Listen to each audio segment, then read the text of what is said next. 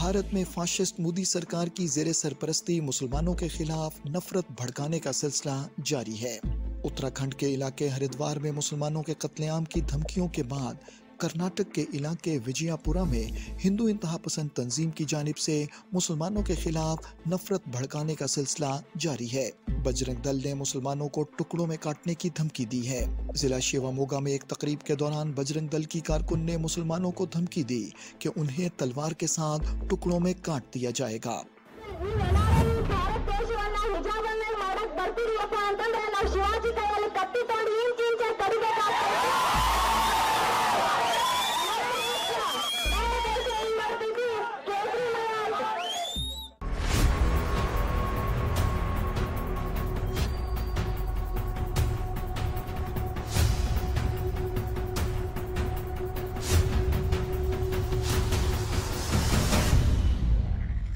इसी दौरान शिवा मोगा में बजरंग दल के गुंडे मुसलमानों के घरों पर हमले कर रहे हैं। बजरंग दल के गुंडों ने मुसलमानों के इलाके पर हमला करके उनकी गाड़ियों को नज़र आतिश कर दिया।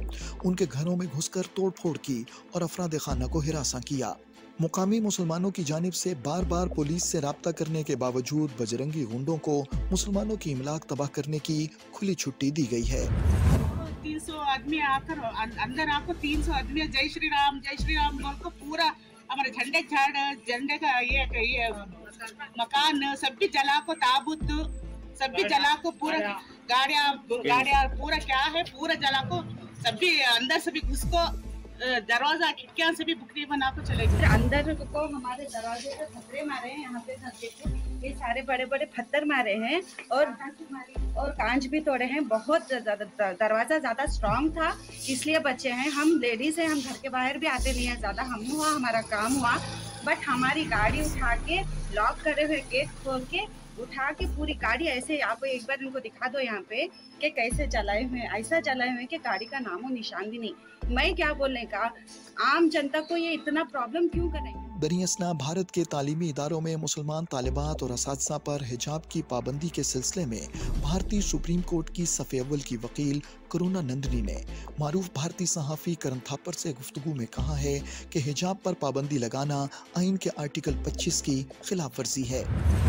At this point, we have a judgment of the Kerala High Court that says that they do have this right, that the hijab is an essential religious practice, and in fact, under Article 25, you can't limit people's right to freedom of conscience and um, freedom of profession of their religion unless it's in public order, in, on the grounds of public order, morality, or health.